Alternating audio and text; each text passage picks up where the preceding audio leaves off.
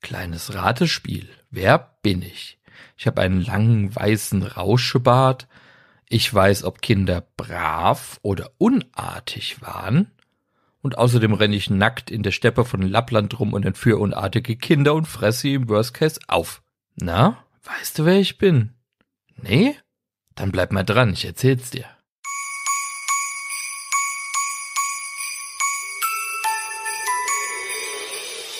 Da liegt so viel Schund, den es zu erkunden gibt. Tief unten auf dem Grund, wo dich niemand sieht. Also tauch doch mit zum Riff. Du wirst es nicht bereuen. Denn aus des Trash-Tauchers Griff kannst du dich nicht befreien.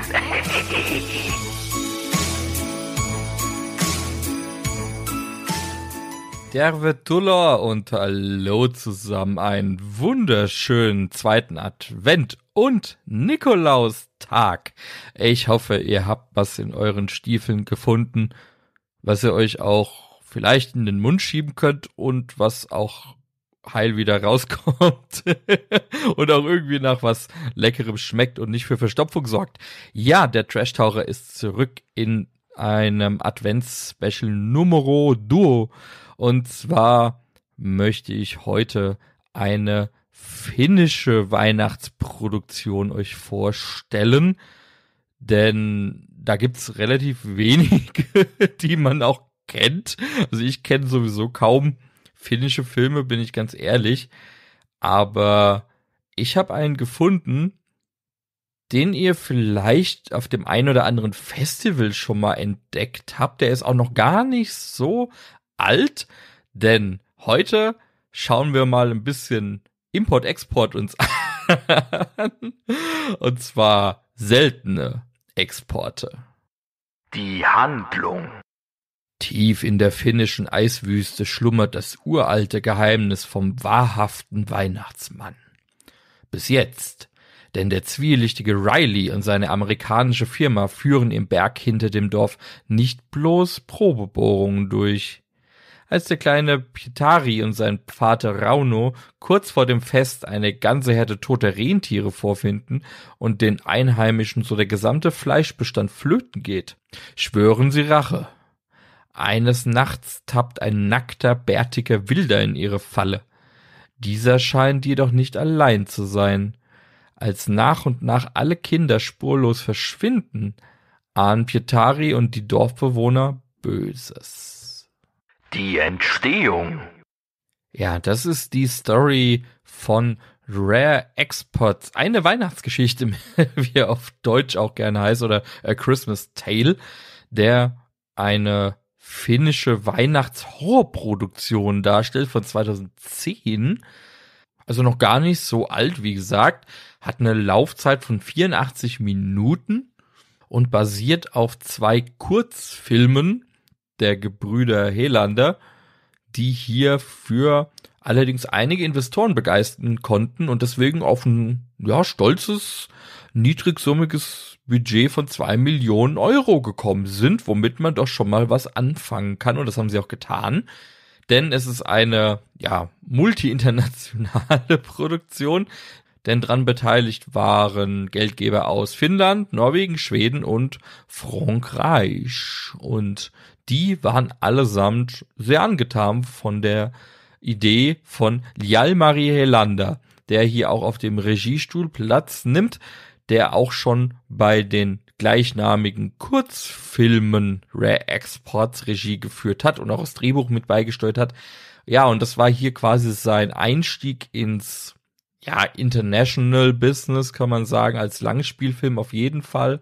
Und danach konnte er zum Beispiel weitere große Filme drin, wie Big Game mit Samuel L. Jackson als schießwütiger US-Präsident. Den habt ihr vielleicht auch schon mal gesehen.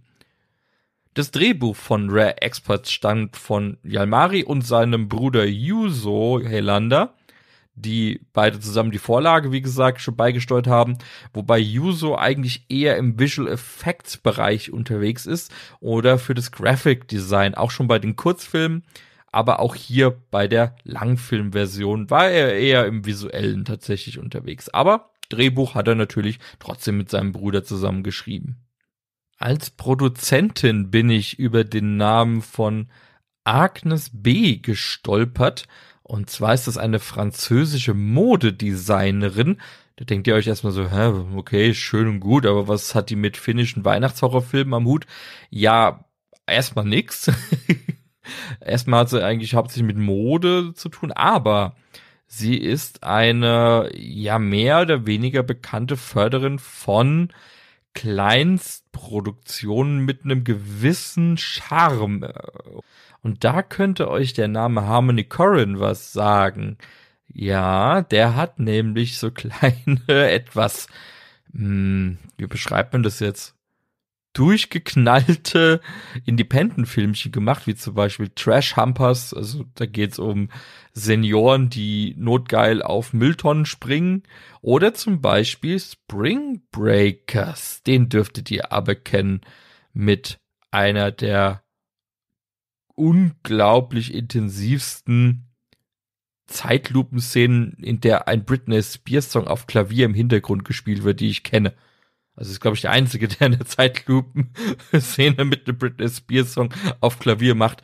Aber ist egal, es war die beste Szene überhaupt im ganzen Film, wie ich finde. Genau, und die wurden auch schon von Agnes B. gefördert. Und hier hat sie die Gebrüder Helander sich ausgesucht. Und ich würde sagen, sie wird es auch nicht bereut haben im Nachgang. Doch dazu mehr später. An der Kamera ist der finnische Landsmann Mika Orasma. Seine Perspektive auf den Film und das Geschehen, die habt ihr zum Beispiel schon bei den Iron Sky Filmen mitbekommen. Da hat er nämlich auch die Kamera geführt oder war zumindest als Hauptverantwortlicher dafür zuständig. Und natürlich auch bei Big Game. Wer hätte gedacht? Und natürlich sind die restliche Crew ist, die meisten sind Finnen, die entsprechend an finnischen Produktionen mitwirken, also im finnischen Fernsehen oder es gibt ja auch eigene Filmförderungen und Filmproduktionen, wie hier bei uns auch natürlich. Deswegen erspare ich die euch mal, wenn ihr da mehr wissen wollt. Schaut einfach mal bei der IMDb vorbei. Da findet ihr alle Namen mit allen Umlauten. Ob ihr sie aussprechen könnt oder nicht, ich kann es nicht. Ich kann nämlich kein Finnisch.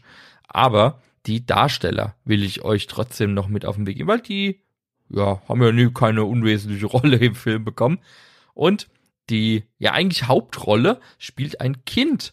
Und das Kind namentlich Onni Tomila, der den Pietari spielt, einen kleinen neugierigen Jungen, der allerdings ein bisschen Angst vor dem Weihnachtsmann hat und das aus gutem Grund. Und den habt ihr aber schon gesehen, falls ihr die Kurzfilme kennt, da hat er nämlich auch ich glaube, im zweiten Kurzfilm den kleinen Jungen gespielt und er hat auch die Hauptrolle in Big Game gespielt, neben Samuel L. Jackson. Das ist doch schon ganz beachtlich für den kleinen Onni. An seiner Seite haben wir Jorma Tomila als Rauno, der seinen Filmvater spielt. Als Schauspieler ist er schon seit den 80er Jahren aktiv, vorrangig natürlich in finnischen Produktionen, aber auch er war in Big Game mit dabei. So, und das geht sich, zieht sich jetzt eigentlich durch fast alle Schauspieler durch. Wir haben hier Tommy Coppella als Aimo, dann haben wir Rauno Juvonen als Piparinen. Die waren allesamt auch bei Big Game mit am Start. Dann haben wir Per Christian Elefsen, ein Norweger, Achtung, als Riley. Der könnte euch, wenn ihr mit der Serie Norseman vertraut seid, bekannt vorkommen. Der hat da nämlich in einigen Folgen den Tourmanager gespielt. Da fällt mir gerade ein, ich muss mal unbedingt wieder Norseman gucken. Unglaublich witzige Serie. Empfehlung. Und wir haben Jonathan Hutchins als Brian Green, das böse Mastermind im Hintergrund quasi. Den habt ihr, wenn ihr die Kurzfilme kennt, auch schon mal zumindest gehört. Denn er ist der Off-Erzähler der Kurzfilme. Das war kurz und knackig die Crew, die hinter Rare Exports steckt. Und jetzt möchte ich euch spoilerfrei meinen Eindruck zu Rare Exports mitgeben und euch verraten, ob ihr euch wirklich nackte, verdreckte, schwitzige, blutrünstige Weihnachtsmänner antun solltet. Mein Eindruck. Und kurz vorweg, ja, solltet ihr. Ende der Folge, wir hören uns nächste Woche. Nee, Quatsch. Also, wann kriegt man denn mal so eine merkwürdige Konstellation für einen Film zusammen? Einerseits ist es eine finnische Low-Budget-Produktion, basierend auf einem Kurzfilm. Das ist jetzt nicht so ungewöhnlich, aber allein diese Story, dass es darum geht, dass in Lappland freilaufende, wilde Weihnachtsmänner durch die Gegend laufen und erschnuppern können, ob jemand artig oder unartig war. Ja, und wenn jemand unartig war, dann wollt ihr gar nicht wissen, was mit dem passiert. Dann werden die verschleppt, massakriert oder einfach getötet im Worst Case. Das ist schon eine ziemlich geile Idee, muss ich sagen. Also ich habe ja die Kurzfilme gesehen, die kann ich euch wirklich ans Herz legen. Könnt ihr bei YouTube übrigens sehen, die heißen auch einfach Rare Exports. Also es sind Kurzfilme im Stil von Image Movies von der Firma, die eben eine besondere Ware exportiert und ins Ausland verkauft. Und diese Ware sind eben echte Original Weihnachtsmänner aus Lappland. Und die erzählen dann halt in ihren Kurzfilmen, im ersten war es dann entsprechend, wie sie die Weihnachtsmänner fangen, worauf man da achten muss und wie sie sie dann trainieren, um sie dann fertig zu machen für ihre ja, Tätigkeit im Ausland, wohin auch immer. Die werden weltweit dann verschickt in einer schönen großen Holzkiste und müssen dann erstmal lernen, mit Kindern angemessen umzugehen und ihnen nicht die Ohren abzureißen oder was auch immer. auch wenn sie vielleicht unartig waren. Und im zweiten Kurzfilm ging es dann um Sicherheitshinweise für die Spediteure, die die Teile importieren und was sie dann bei der Pflege quasi beachten sollten, um nicht ja, hops zu gehen, blöd gesagt. Weil es gibt doch ein paar Regeln, um mit so einem Weihnachtsmann zu arbeiten. Allein dieses Grundkonstrukt, da habe ich mir wirklich gedacht, okay, das ist so wahrscheinlich so ein typisch finnischer Humor, so ein bisschen. Weil es ist ja auch eine, nicht ein reiner Horrorfilm. Es hat durchaus humoristische Züge, das Filmchen, weil die nehmen auch nicht immer alles so ernst. Also gerade die Hauptfiguren sind ja, gewohnt, skandinavisch eher ein bisschen trocken, eher ein bisschen kurz angebunden, kloppen aber auch ab und zu mal ein paar geile Sprüche raus. Ich sag nur plus Mehrwertsteuer. aber ansonsten ist das Ganze wie so eine Art ja, Jurassic Park meets The Thing habe ich mich gefühlt. Am gerade so der Anfang, gerade äh, wenn diese Ausgrabungen, diese Bohrungen anfangen, das hat mich doch sehr sehr stark an den Anfang von Jurassic Park, wo diese Bohrungen in, ich glaube in Mexiko stattfinden, wo sie dann die eingebernsteinten Moskitos freilegen und dann überlegen, was sie damit machen und bla bla bla. Und es gibt auch natürlich so einen Konzernchef, der da entsprechend ein Auge drauf hat und da sehr, sehr akribisch ist und auch noch seinen ja, Baustellenmitarbeitern an die Hand gibt, hier, äh, hier ist eine Bedienungsanleitung, wie ihr euch verhalten sollt und bleibt, seid bloß artig und nicht fluchen und, und, und, und, und. das ist ein sehr ehrfürchtiger Mann, aber auch ehrgeizig. Ja, und dass das natürlich dann schief geht, ist ja erwartbar, deswegen The Thing, auch natürlich mit Ausgrabungen im Eis, denn ja, die legen hier was ururaltes frei, was von den Samen, also der indigenen Einwohnergruppe Finnlands damals sehr, sehr weise und voraussichtig äh, tief im Boden unter Steinen, Bergen verscharrt wurde, in einem riesigen Eisklumpen eingefroren und das nicht ohne Grund, denn da liegt der echte Weihnachtsmann begraben. Und der war tatsächlich gar nicht mal so nett, wie uns Coca-Cola weiß machen will. ja, und so wirft uns der Film dann relativ schnell in die Geschichte, macht am Anfang erstmal ein ordentliches Fass auf mit Spannung, mit jeder Menge unbekannten Sachen. Also wenn man jetzt die Kurzfilme nicht gesehen hat, finde ich, ist es fast noch besser, weil man gar nicht weiß, was einen erwartet. Aber ich habe auch jetzt die Kurzfilme mir danach nochmal angeschaut. Ich habe die vor langer Zeit mal gesehen. Aber ich muss sagen, Rare Exports hat ein paar richtig geile Schauwerte, auf jeden Fall, was die Landschaft angeht. Und zwar jede Menge geile Schneelandschaften, die sie da benutzt haben, wo ich direkt Fernweh bekomme. So, oh, ich würde da auch mal gern wieder hin äh, zumindest irgendwo in Skandinavien unterwegs sein. Im Winter war ich jetzt noch nicht da, deswegen das will ich mir auch irgendwann mal anschauen. Aber die Panorama-Landschaftsaufnahmen, die sind schon echt geil geworden. Ja, und natürlich brauchen wir auch jemanden als Protagonisten. Das ist hier in dem Fall der kleine Pietari, der mit seinem Vater auf einer kleinen Farm lebt, die eben vom Rentierhandel oder von der Rentierzucht leben. Eher in sehr, sehr bescheidenen Verhältnissen, also wie bei uns hier auf dem Land, die, die Bauern mit ihrem lieben Vieh und entsprechend ja, auf ihre Art knarzig sind sie auch. Also zumindest der Vater ist halt sehr, sehr rabiat, auch gegenüber seinem Sohn, spannt ihn für alles ein, er muss früh aufstehen, äh, soll keine Scheu zeigen, wenn er halt mal in der Scheune ein Schwein zerlegen soll und, und, und. Ansonsten gibt's da nicht viel, ja, familiäres zwischen den beiden. Also es ist jetzt nicht von Wärme geprägt, muss man sagen. Aber das fand ich tatsächlich geil. Am Anfang hat der Vater eben noch sehr diese Arschloch-Attitüde, wo ich gedacht, boah, was ein Arschloch, der mit seinem Sohn so umspringt, äh, hart werden hin oder her. Im Norden musste ja hart sein, ist klar, bei so Witterungen, sonst überlebst du nicht. Aber auf der anderen Seite denke ich mir auch, hey, ist, der ist, wie alt ist der? Vielleicht neun oder acht.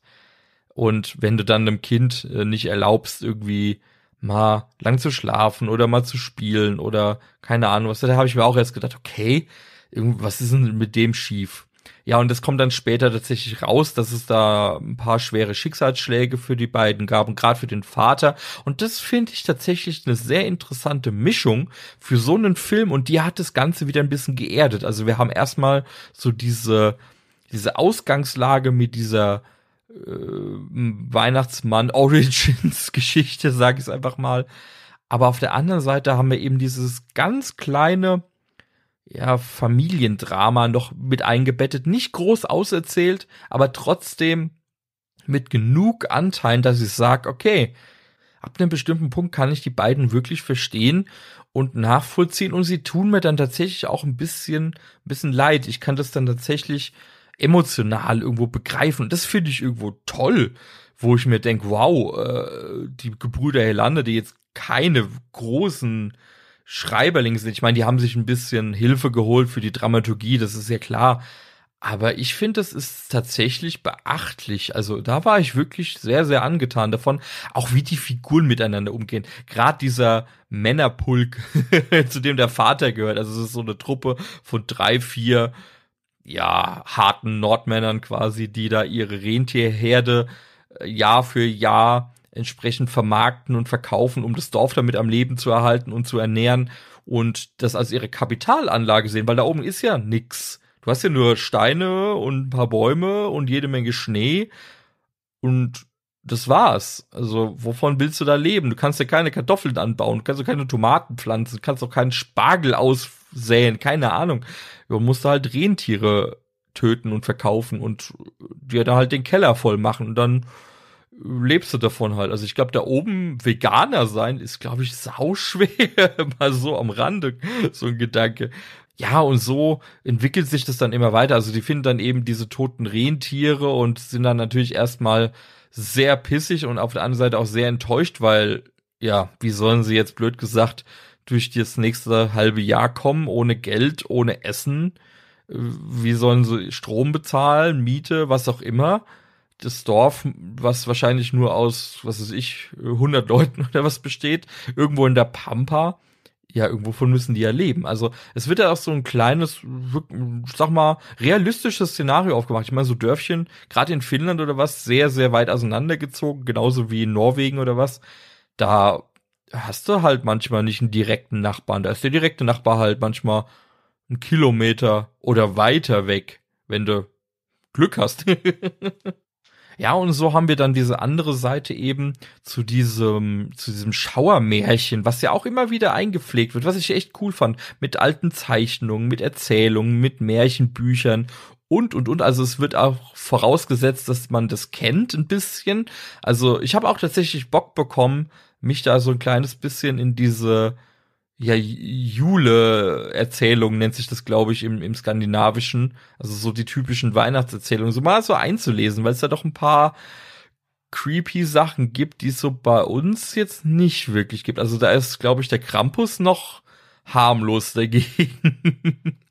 also es ist wirklich ein schönes Myth-Building, muss ich sagen. Also die erste Hälfte vom Film ist doch da sehr, sehr packend, hat auch wirklich Spaß gemacht, war spannend, war ab und zu auch mal ein bisschen lustig, weil die, wie gesagt, äh, so in ihrer ganz trockenen Art dann irgendwelche Sprüche kloppen. Sie sind dann sauer auf diese Bohrleute, weil sie die eben im Verdacht haben, dass die Rentiere deswegen draufgegangen sind, weil die einen Zaun demoliert haben und deswegen sind die Wölfe gekommen und haben die Rentiere geschlachtet und dann wollen sie sich quasi bei dieser American Company ihre ja, Entschädigung holen von genau 80.000 Dollar.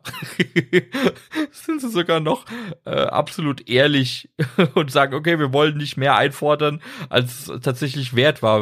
Wenn der eine, da sagt dann einer noch, hey, das ist doch locker eine Million. Wir hätten, das hätten wir alles fordern können. Ja, nö, nö, 80.000, das reicht doch genau für uns. Nächstes Jahr haben wir dann wieder Rentiere. Finde ich, ist eine geile Grundattitüde einfach zu dieser Grundeinstellung, die die Skandinavier so äh, in der Breite drauf haben. Also ich habe auch mal ein paar kennengelernt, die sind ja schon sehr freundlich, aber auch sachlich und bescheiden in bestimmten Zusammenhängen. Finde ich doch sehr äh, treffend rübergebracht. Ich meine, wer könnte es besser rüberbringen? Wer könnte das besser rüberbringen als Finn? Also mein Gott, die kennen sich ja, ist ja klar. Aber der Film funktioniert tatsächlich ab der zweiten Hälfte nicht mehr ganz so geil. Und das hat ein paar, mh, hm, wie soll ich sagen? Ich glaube, da haben sie sich ein bisschen verhoben.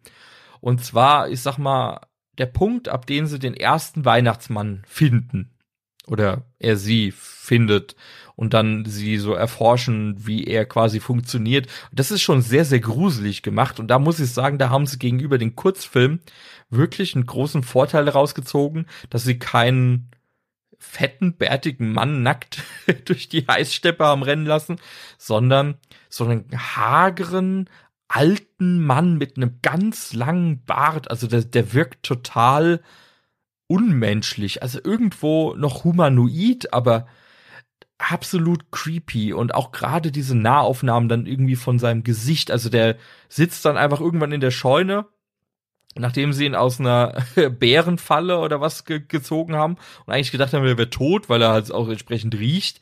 Ja. Und dann wacht er halt wieder auf und fängt an zu schnüffeln. Und vor allem, wenn der kleine Pieteri in der Nähe ist. Also da wird schon angedeutet, dass der Weihnachtsmann bzw. die Weihnachtsmänner eine ganz, ganz bestimmte Affinität zu Kindern haben. Und das zeigt sich dann noch stärker in seinem Verhalten und wenn er dann mit Pieteri konfrontiert wird. Und das haben sie wirklich geil creepy gemacht. Sehr, sehr langsam, ohne große Action, teilweise mit ein bisschen Humor, wo sie dann versuchen, ihn zu verhören und weil er halt kein Finnisch scheinbar versteht, haben sie dann einen dabei, der Englisch kann und ihm dann irgendwelche Fragen auf Englisch stellt.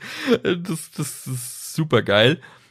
Aber tatsächlich verliert da der Film in der zweiten Hälfte an Schwung, habe ich das Gefühl, obwohl er eigentlich dann die Action erst richtig losgeht, weil dann immer mehr Weihnachtsmänner auftauchen. Es gibt dann eine Entführung oder mehrere Entführungen von Kindern. Ich habe es vorhin in der Handlung schon kurz erwähnt und da sind sie dann entsprechend hinterher und einige merkwürdige Dinge wie Heizkörper und Föhns werden geklaut. Das ist für mich dann auch soweit noch in Ordnung. Da bin ich auch noch dabei. Das fand ich auch noch unterhaltsam. Aber gerade so das letzte Viertel, wo es dann um den, in Anführungszeichen, Showdown und alles geht, da war ich tatsächlich ein bisschen underwhelmed, weil mir das dann doch zu schnell irgendwie ging, ohne eine große Exposition, ohne dass es irgendwie diesen Showdown wirklich gibt. Also es gibt dann zwar ein bisschen ja, Gefecht, muss ich sagen. Und es gibt auch eine Explosion, keine kleine. Da hat mich dann auch ein bisschen der visuelle Stil ein bisschen gestört. Also gerade die Effekte war halt dann ultra günstiges CGI, muss ich wirklich sagen. Und es sieht dann halt einfach nicht mehr geil aus, weil der Rest vorher so, so haptisch war, halt ohne irgendwas. Einfach nur Kostümierung und Atmosphäre durch geile Kamera und Beleuchtung und was und ein paar lustige Dialoge oder schräge Sachen. Und dann zum Schluss hauen sie dann nochmal auf die Kacke, wo ich sage, okay, es ist ein, es ist ein B- oder ein C-Movie, ist ja ganz klar. Du brauchst dann auch so einen Show dazu Ende. Der kann auch ruhig crappy sein. Aber der war dann tatsächlich ein bisschen underwhelming. Ich, ich habe wirklich gedacht, dass sie da nochmal komplett abdrehen, also richtig abdrehen. Aber haben sie nur angeteased und dann, ja, kann ich jetzt auch nicht mehr dazu sagen. Dazu mache ich jetzt aber gleich mal eine Spoiler- Zone auf. Achtung, Achtung. Achtung, Spoiler-Alarm. Ja, und zwar muss ich wirklich sagen, dieser in Anführungszeichen echte Weihnachtsmann, der hat mich dann tatsächlich sehr gestört. Also ich fand bei den Kurzfilmen war ja die war ja die Annahme okay, es gibt eben wild lebende nackte ja fleischfressende Weihnachtsmänner beziehungsweise tötende, die die fressen ja nur Lebkuchen besonders gern. Aber dass sie dann im Film das ein bisschen noch aufgedreht haben, so nach dem Prinzip, hey, das sind gar nicht die echten Weihnachtsmänner, sondern das sind nur seine Helfer, seine Elfen quasi, die aussehen wie die Weihnachtsmänner, wie wir sie uns vorstellen. Und der echte Weihnachtsmann sieht ganz, ganz anders aus. Finde ich erstmal cool, dass es dann eben wirklich so ein riesiges, eingefrorenes Monster mit Hörnern und was ist. Also wirklich so ein bisschen Krampus-Style. Und dass er den dann halt auch ja, er wird ja nicht richtig gezeigt. Also er ist ja in, in diesem Block und er ist kurz vom Auftauen, weil deswegen entführen ja die Elfen die Kinder, beziehungsweise auch die Heizungen und die Lüfter und alles, um den echten Weihnachtsmann entsprechend aufzutauen. Und es ist auch kurz davor, ja, und dann gibt's halt dann den Endkampf mit den Elfen und ja, es ist ein bisschen, schade, dass es da nicht ausgespielt wurde, sondern dass der dann einfach gesprengt wurde, dass es da keinen geilen Kampf oder sowas noch irgendwie gab. Irgendwas Übertriebenes. Ich muss so ein bisschen an das Finale zum Beispiel von Braindead oder was denken, wo dann am Schluss nochmal die die Oberzombie-Mutter auf dem Dach rauskam oder sowas. Wisst ihr, was ich meine? Also da war ich ein kleines bisschen underwhelmed, dass ich gedacht habe, cool, jetzt gibt's noch mal so ein Stand-off. Und wenn es nur ein kurzes ist, äh, dann, dann oben auf dem Berg und dann wird er wieder in seine Grube gestoßen oder keine Ahnung was also das hat mir ein bisschen gefehlt. Aber was cool war, es gab einige brutale Szenen. Auch wenn die ein bisschen weggekattet waren, hatte ich das Gefühl. Also der Gore-Faktor oder Splatter-Faktor war jetzt nicht so hoch im Verhältnis wie in den Kurzfilmen, hatte ich das Gefühl, da hat man doch ein bisschen mehr gesehen. Aber es kommt auf jeden Fall einiges drin vor. Also da kommt ihr auf eure Kosten, wenn ihr auf ein bisschen Blut und Sachen aufspießen und durchbohren und hast nicht gesehen steht. Also war echt unterhaltsam. Und ich finde auch diese Anknüpfung an die Kurzfilme ist gut gelungen. Also gerade dann zum Ende hin, weil das der der Langfilm ist quasi die Vorgeschichte zum zu den Kurzfilmen, wie das Ganze überhaupt angefangen hat, so eine Art Prequel. Da habe ich tatsächlich gedacht, das ist eine coole Idee. Das gibt aber halt auch nicht mehr her. Also eine Fortsetzung wird dazu sehr wahrscheinlich nicht kommen, gehe ich nicht von aus. Also was willst du denn da noch weiter erzählen? Die verschicken die dann halt in die Welt draußen, haben die da entsprechend abgerichtet und keine Ahnung was. Also du kannst dann nur irgendwie sagen, okay, hast dann irgendwo einen Amoklauf irgendwo in Tansania oder wo sie es dann überall hinschicken. Aber ich glaube, das käme dann nicht so geil. Also von daher ist alles gut, so wie es ist. Gerade in der Kombination mit diesem Kurzfilm, sehr cooler Anreiz, sagen, kann man sich auch mal öfter angucken. Vielleicht auch mal auf Finnisch. Also ich habe mir jetzt auf Deutsch geguckt tatsächlich. Ich glaube, auf Finnisch kommt er noch mal vielleicht ein bisschen lustiger rüber. Aber von daher auf jeden Fall ein Film mit Mehrwert dabei, wo ich sag, jo, könnt ihr euch mal an einem verregneten, verschneiten, düsteren Adventssonntag geben, wenn ihr im Warmen daheim sitzt, äh, auf eurer Couch, ihr habt ein paar Lebkuchen auf dem Tisch stehen, ein bisschen Gebäck, habt die Kerzen an und dann prasselt ein schönes Feuer im Kamin. Und dazu guckt ihr Rare Exports und habt einfach ein bisschen Spaß, gießt euch ein bisschen Glühwein oder Eierpunsch hinter die Binde mit ein paar Freunden und ich glaube, dafür ist Rare Exports tatsächlich richtig gut geeignet, hat auch ein bisschen scary Atmosphäre dabei, wirklich, aber auch gewissen Humor, den muss man halt mögen. Ich fand den sehr zugänglich, von daher definitiv eine Empfehlung, weil Rare Exports einfach wirklich ein unterhaltsamer wie ungewöhnlicher Weihnachtshorrorfilm ist. Trivia. Ja, und natürlich gibt's auch ein paar Behind-the-Scenes-Fakten, die ich euch nicht vorenthalten will. Und zwar Vielleicht hat's der eine oder andere aufmerksame Zuhörer unter euch schon vorhin beim Cast gehört, denn Onni und Jorma Tomila haben denselben Nachnamen und die sind auch tatsächlich verwandt, denn sie sind Vater und Sohn. Also Jorma ist der Vater und Onni ist der Sohn und sie spielen ja auch im Film Vater und Sohn. Aber, was auch witzig ist, Onni ist auch der Neffe der Hellander Brüder. Denn die sind mütterlicherseits Onkel von Onni, also Schwärger von Jorma. Also es bleibt alles in der Familie. Wenn man genauer hinschaut, im Film zeigt an einer Stelle Brian Green, der Oberbösewicht, seinen Reisepass. Und der hat eine ganz bestimmte Nummer, nämlich 314159265. Und wer jetzt in Mathe sechste, siebte Klasse aufgepasst hat, ja, das sind die ersten sieben Ziffern von Pi. Also ich kann immer nur die ersten drei und macht dann einfach Punkt, Punkt, Punkt. Aber wer es genauer weiß, dem wird es bestimmt auffallen. Ja, und wer jetzt denkt, oh, das ist ja eine tolle finnische Landschaft, die sie da genommen haben, da will ich auch gern mal hin, ja, den muss ich leider enttäuschen, denn der Film wurde nicht in Finnland gedreht, beziehungsweise Lappland, wie sie ja suggerieren, sondern in Tromsø in Norwegen. Ist zwar nicht Finnland, aber auch schön. Kann ich euch empfehlen. Also Norwegen, Tromsø, da will ich auch gern mal irgendwann hin. So, das war's mit dieser kleinen Advents-Nikolaus-Folge zu Rare Exports. Ich hoffe, ihr habt mal wieder was Neues entdeckt, bisschen was für die Feiertage.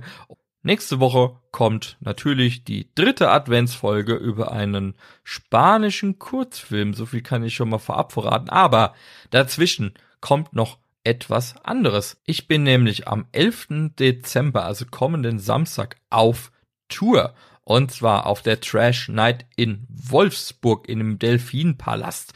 Da findet in Kooperation, ich glaube, mit Deadline und dem Virus-Magazin zum zweiten Mal die Trash Night statt. Und da werden dann Filme gezeigt wie Zist, über den ich ja schon mal in einem Podcast gequatscht habe, Turbo Kid oder die drei Engel von der Todesinsel zum Beispiel und einige Kurzfilme sind mit dabei. Deswegen Empfehlung, wenn ihr noch nichts vorhabt am 11.12., kommt gerne nach Wolfsburg. Das findet aktuell auch noch statt. Also äh, die ziehen es auf jeden Fall durch und entsprechenden Auflagen.